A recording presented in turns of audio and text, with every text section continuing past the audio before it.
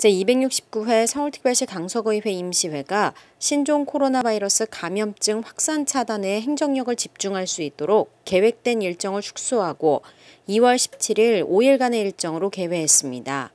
이번 임시회는 각 위원회별 2020년 업무 보고의 건과 2019 회계연도 서울특별시 강서구 결산검사위원 선임의 건 등 다양한 안건이 처리될 예정입니다.